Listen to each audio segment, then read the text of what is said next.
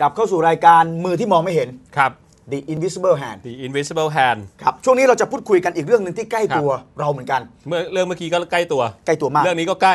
คราวนี้เรื่องการทำบุญ โอ้โหเศรษฐศาสตร์ว่าด้วยการทำบุญและการบริจาคโดยเฉอจรพาะอย่างยิ่งเมืองพุทธครับนะครับมีการทำบุญเยอะเข้าวัดเข้าวา ฮะมีสถิตินะครับ ครับ อาจารย์เกียรติอนันต์ล้วนแก้ว ครับ ผู้อำนวยการศูนย์วิจัยของมธุรกิจบัณฑิต อืม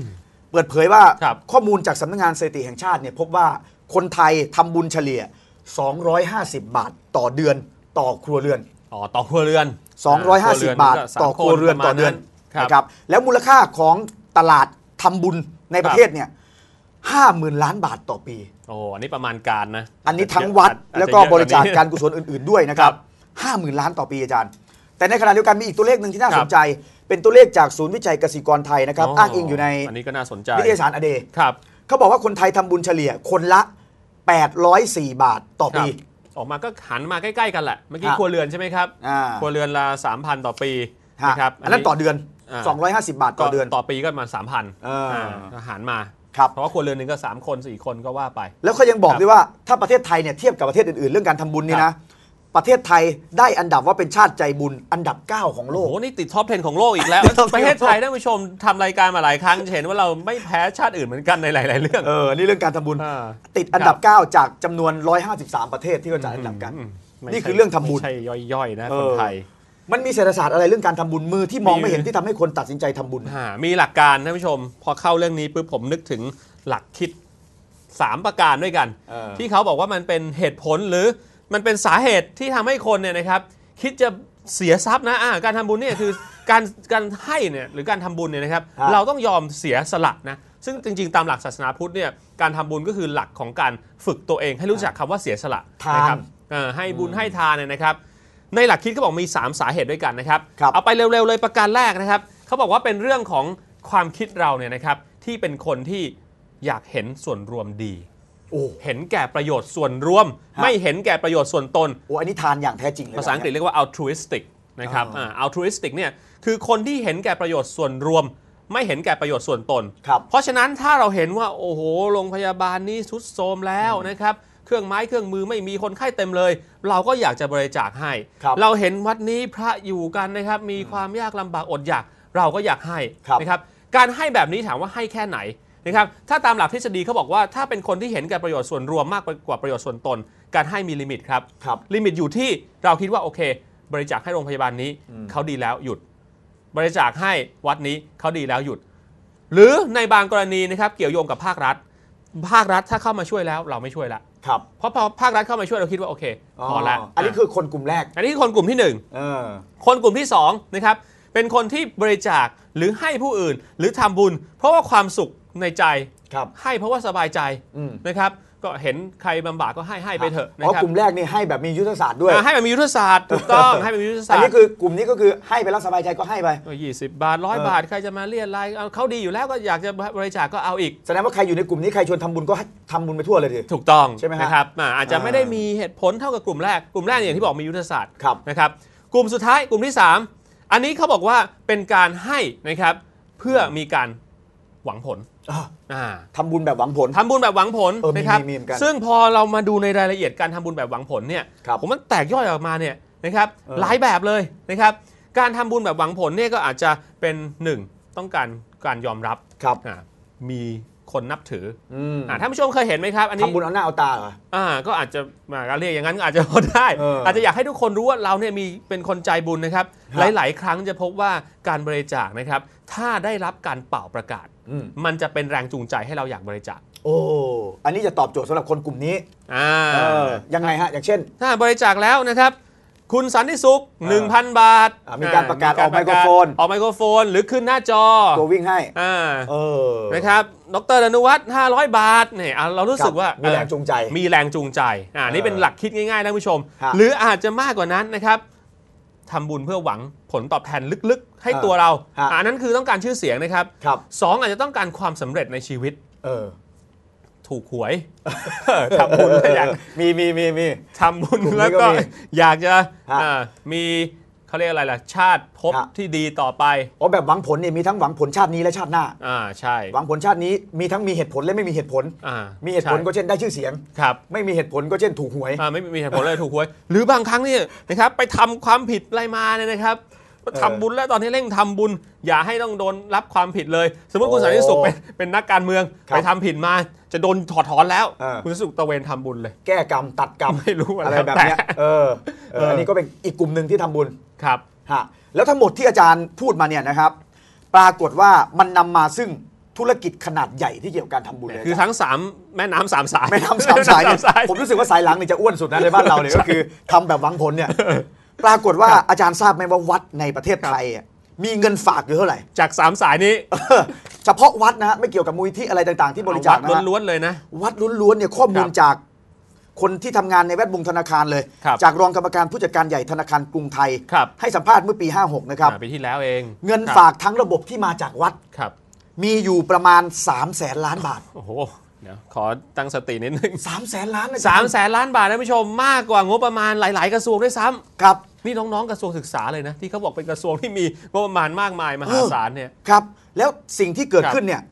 มันมีการกระจุกตัวของความมั่งคั่งด้วย อ่าอันนี้ประเด็นนี้ก็น่าสนใจ ไม่ใช่ว่าทุกวัดเนี่ยจะมีความมั่งคั่งทั่วครับกันในประเทศไทยไม่ใช่นะฮะวัดใหญ่วัดเล็กวัดใหญ่วัดเล็กวัดรวยวัดจน อ่า วัดที่มีเงินเยอะเนี่ยก็จะกระจุกตัวครับ อยู่ ไม่เยอะหรอกถ้าคิดกับจำนวนวัดทั้งหมดเนี่ย แต่ว่ามีมูลค่าของอืมตัวเงินฝากครับ อาจจะเยอะอาจจะเยอะมากแต่จำนวนวัดน่ะไม่เยอะ จำนวนวัดไม่เยอะครับเขามีการสำรวจนะครับเฉลี่ยเนี่ยนะฮะอาจารย์ครับจำนวนเงินที่แต่ละวัด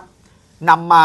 เป็นรายได้รายรับครับ ของแต่ละวัดเนี่ย อยู่ที่ประมาณ 3 ล้าน 3 ล้านบาท อันนี้เฉลี่ย เฉลี่ยต่อวัด ผมไม่น้อยนี่คือต่อปีเออใช่ไหมครับ ต่อปีครับแต่ว่าจำนวนเนี้ยยังถือว่าจิ๊บจ้อยถ้าเทียบกับวัดที่มั่งคั่งเยอะอ่าถูกต้องคือค่าเฉลี่ยนี่ยังห่างเออไกลกับวัดใหญ่ครับที่รับเงินบริจาคมากมายมหาศาลจนเราเห็นเป็นเป็นข่าวเป็นข่าวก็ๆอย่างมีเอ่ยชื่อก็ได้อย่างวัดอ่าธรรมกายอย่างเงี้ยครับเงินบริจาคเยอะในแต่ละปีนะฮะอย่างวัดอื่นๆ วัดดังครับๆนะฮะ ซึ่งวัดปฏิบัติก็ต่างจากวัดธรรมกายอย่างเช่น ใช่ครับวัดหลวงพ่อคูณเนี่ยก็เยอะ ครับ วัดหลวงพ่อโสธรเนี่ยอืมวัดหลวงพ่อโสธรอาจารย์เห็นข่าวไหม โอ้โห เห็นไปไม่ใช่เฉพาะปีนี้ด้วยนะ มีเออ ข่าวมาต่อเนื่องเลย เรื่องธุรกิจใช่ไหมใช่ฮะครับ เรื่องผลประโยชน์ใช่ไหมฮะนั่นเลยฮะคือตัวอย่างอืมแต่การกระจุกตัวเนี่ยอาจารย์ว่าดีหรือไม่ดี ผมว่าไม่ดีแน่นอน อืมอืม มันมีด้านดีไหม เออถ้าจะถามถึงด้านดีเนี่ยมันก็อาจจะพอมีบ้างอืมนะครับ คืออย่างที่เคยพูดไปสัปดาห์ที่แล้ว ถ้ายังจำได้นะผู้ชม ครับ the whole is greater than the sum of its part คืออะคือพอไม้จิ้มฟันนะผู้ชม ถ้าอยู่อันเดียวมันหักง่าย แต่พอเอามารวมกันแล้วเนี่ยนะครับจะหักก็ยาก ครับหรือนะครับเวลาเงินสมมติร้อยบาทร้อยบาทกระจายไปทุกวัดร้อยบาททำอะไรไม่ได้ ครับแต่ถ้ารวมกันมาร้อยวัดจากร้อยบาทเป็นแสนบาทเออแสนบาทสามารถทำอะไรได้ อาจคจะรับซื้ออะไรชิ้นใหญ่ ๆ ได้ อาจจะสร้างอะไรชิ้นใหญ่ ๆ ได้ครับนะข้อดีของมันก็คือ ถ้ามีการกระจุกอยู่อืมในวัดใหญ่ๆเนี่ยแน่นอน วัดใหญ่ๆก็สามารถขับเคลื่อนนะครับโครครังบ การที่มีขนาดใหญ่ ที่อาจจะทำให้เกิดศรัทธาทำให้เกิดแน่นอนนะครับ ความเลื่อมใสในพระพุทธศาสนาในระดับหนึ่งครับอาจจะผ่านสื่อประชาสัมพันธ์นะครับอืมอาจจะผ่านโครงการใหญ่ๆอันนั้นทำได้ครับ แต่ถ้าไปแต่ถ้ามันไม่กระจายเลยเนี่ยอ่าวัดเล็ก ๆ มีปัญหาเยอะ ประเด็นที่อาจารย์พูดว่าพอมันมีความมั่งคั่งเนี่ยครับมันก็มีส่วนที่เป็นส่วนที่เป็นประโยชน์อยู่บ้างครับอย่างเช่นเราก็เลยได้เห็นการก่อสร้างที่ครับมันอลังการอืมในด้านที่เป็นศิลปะก็มีอ่าถูกนะต้อฮะงเพราะว่าถ้าเกิดว่ากระจายมันก็บี้หัวแตกใช่ไหมบางวัดก็เลยได้สร้างอะไรที่ใหญ่ๆโตครับๆนะครับอย่าง อันนี้ก็คืออย่างที่วัดบ้านไร่อ่าก็เป็นวิหารใหญ่นะครับโอ้ อ่าก็จะกลายเป็นสถานที่ซึ่งสร้างเป็นเป็นเหมือนกับเป็นสัญลักษณ์เป็นแหล่งท่องครับเที่ยวเป็นแลนด์มาร์คได้อ่าคืออ่าข้อดีอันนี้ก็น่าสนใจที่คุณสันสุขบอกเป็นแหล่งท่องเที่ยวครับนะครับ คือนอกเหนือจากจะให้พุทธศาสนิกชนไปบูชากราบไหว้แล้วเนี่ยอ่ายัยังทำให้เป็นจุดสนใจครับ ของนักท่องเที่ยวต่างชาติด้วยครับนะครับ อย่างนี้เป็นต้นนะฮะอันนี้ก็เป็นข้อดีะอันนี้ที่ก็วัดยอมบ้านไร่บนะฮะโอ้โหครับ ดูสิอาจารย์ นี่ก่อสร้างแบบว่าน่าสนใจมากนะฮะ ครับ แต่ข้อเสียก็คือว่าพอมันกระจุกตัวปุ๊บ วัดเล็ก ๆ ที่ไม่ได้รับการดูแลเนี่ยมีปัญหาอะไรทีเนี้ยอืมอันนี้ลำบาก กลายเป็นพอไม่ดังปุ๊บก็ไม่มีคนมาทำบุญครับ อันเนี้ยเป็นปัญหาที่จะแก้ยังไงดี ผมนึกออกผมนึกตัวอย่างหนึ่งออก นึกร้านก๋วยเตี๋ยวสองร้านครับร้านหนึ่งคนแน่นเลยคิวยาว อืม อีกร้านหนึ่งไม่มีคนเลย คุณสันติสุขอยากเข้าร้านไหน ก็อยากเข้าร้านที่คนแน่นๆอะเออครับมันคล้ายๆกันนะ เหรอ ก็วัดพอเออยิ่งใหญ่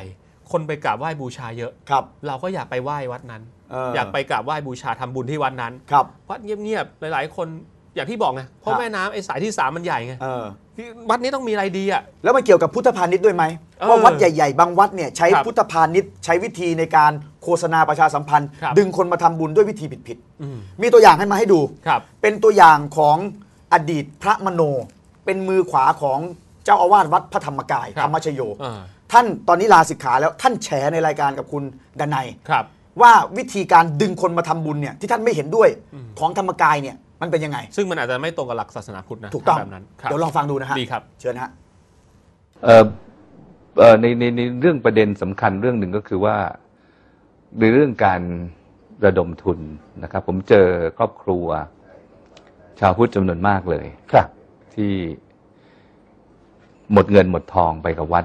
นะฮะมากเกินมากเหตุเกินเหตุ แล้วมากก็เกินเหตุเขาว่าก็เล่าว่าเขาเป็นผู้หญิงนะครับ มารักษาศีลแปดที่วัด แล้วก็เปิดวิทยุชุมชนให้ออกอากาศให้ทุกวันพุธนะครับ โฆษณาเปิดบ้านตัวเอง ให้เป็นที่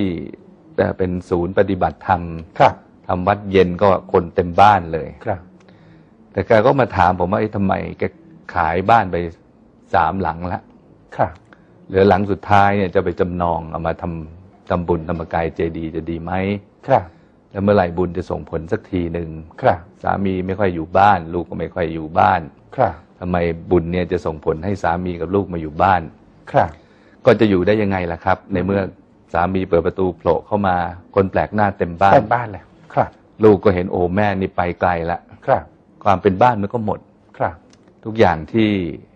ที่เขาสร้างมานะครับ มันก็เป็นครอบครัวที่ล้มเหลว แล้วก็มีครอบครัวที่ล้มเหลวเหล่านี้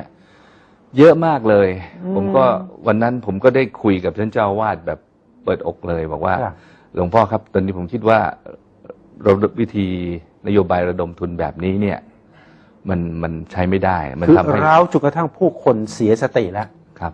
ร้าวจนผู้คนเสียสติแล้วครับก็คือสอนเยอะแยะ แต่ว่าไม่ได้สอนเรื่องสติ ครับคือให้ยิ่งกับศรัทคนธาทำบุญยิ่งศรัทธามากเท่าไหร่ยิ่งดี แบบนี้สอนให้งมงายแล้วล่ะ ครับและในที่สุดโอเคผมก็เรียนท่านบอกว่า เออ